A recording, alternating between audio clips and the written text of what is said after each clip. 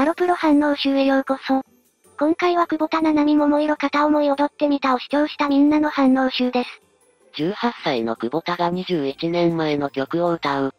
豪邸だな。さすがに家じゃないよな、事務所かな。ガラスに反射してずっとお尻が見えてるのがあざといな。まさに胸がキュルルン。足よく鍛えてるな。写真集撮ったってこと？